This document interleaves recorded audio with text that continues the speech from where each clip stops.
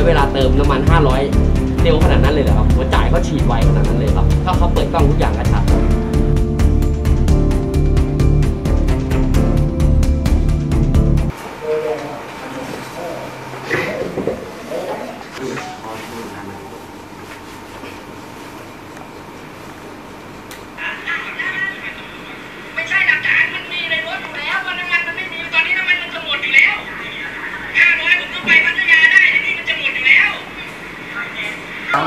ไม่ไม่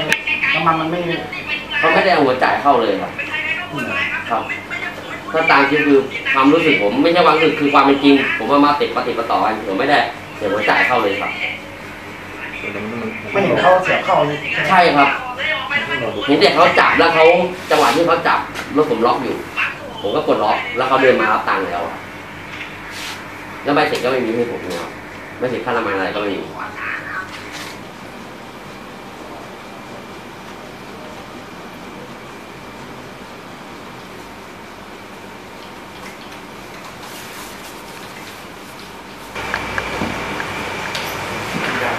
มันเรื่องอะไรครับโอ้มาแจ้งความค่ะ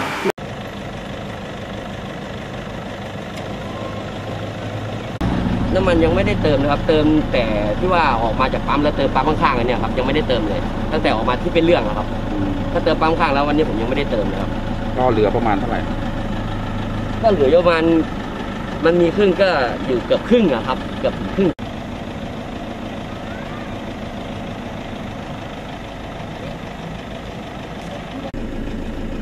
เขาใช้เวลาเติมน้ำมัน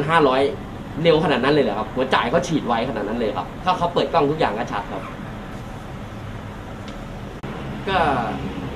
คือดูดูดูดูตอนเขาเติมด้วยนะครับ คือผมก็พลาดตรงนี้ด้วยเพราะบางทีผมผมผมรีบครับบางคือผมก็ไม่คิดว่าผมจะเจอเพราะผมเติมที่ไหน ผมก็ไม่เคยเจออย่างเงี้ยครับ คือ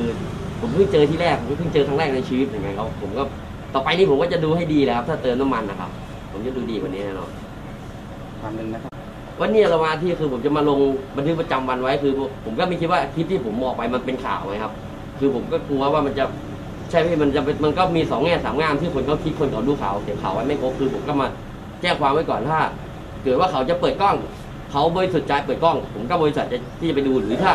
เขาไม่อะไรก็แล้ว แต่เพราะทางผมไม่ได้อะไรไงครับคือผมต้องการจะมาแจ้งความไว้ก่อนเฉยๆครับผมก็คือ มันมันเสียความรู้สึกไปแล้วพี่เติมมันไปห้าร้อยแล้วทำอย่างเงี้ยแล้วเจออย่างเงี้ยพี่